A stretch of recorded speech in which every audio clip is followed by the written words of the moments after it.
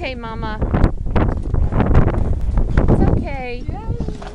You want a blanket to cover the front of it for him? Here, get a picture. I've got another Get blanket. a picture of Jim sitting here. No, no, pictures. Yes, you're their savior. Jim. Yes.